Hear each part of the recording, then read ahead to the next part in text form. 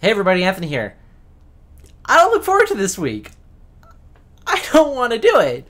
I was recently asked by somebody, hey, not everything nostalgic was good. There was a lot of really crappy nostalgic stuff out there. Why don't you review something you don't like? Something that makes you angry? And I said, okay. And that was a bad mistake. the Last Ninja on the Nintendo.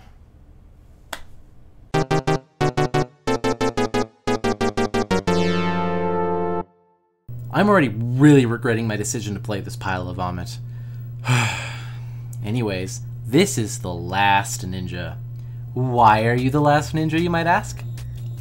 I don't know, because the game isn't going to tell you, so I guess you'll just have to use your imagination. You'll be doing that a lot this game. So you're a stupid ninja jumping around and punching crap, it seems. I mean, it sounds like a cool idea for a ninja game in theory, but in practice, this game is just a pile of dog shit.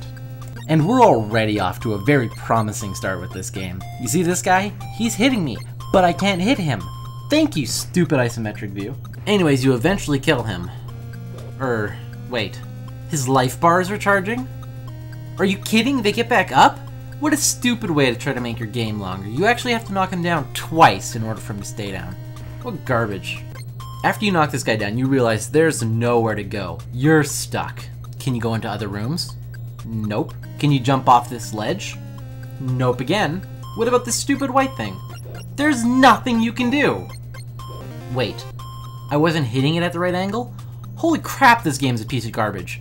What is this white thing anyways? Once again, use your imagination, folks. Also, picking things up is no easy task. You have to be in the exact location or else you just punch and jump around. Continuing along with this game, let's just say this. You fight people, you pick stuff up, you fight more people, and you pick up more stuff. This is basically all you do until you get to one of the most frustrating parts of any game ever, trying to cross the river. Now, if you've ever played this game, you know the frustrations of trying to jump onto this boat. You try, and fail, and fail, and ah! This seriously feels like an impossible task. I am jumping on the boat, but apparently, I'm just going right through it. Oh wow, I made it on the boat. I'll just jump across and... What? No! Game over! What? Okay, fuck this. I'm doing it right this time. Just collect this crap right here, beat these guys up. Okay, and we're back. Okay, we've passed the river. What a miracle. Okay, now let's just avoid these bees and... Wow. Fuck me. Really? Okay, we'll just go up here and... Wow. This game's literal translation must be, you are screwed. Okay, I've had enough of this stupid level. Let's move on to level 2. I guess you're in a city and... What the fuck?